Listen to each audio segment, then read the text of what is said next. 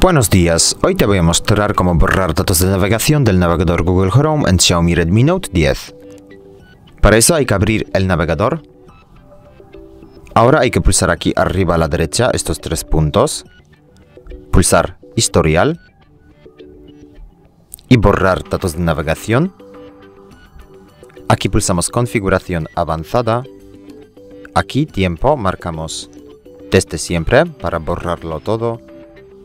Marcamos estas opciones y confirmamos aquí borrar datos. Pulsamos entendido y ya está, como ves los datos ya están eliminados. Muchas gracias por ver el vídeo. Te invito a dejar un comentario abajo y a suscribirte al canal. Hasta luego.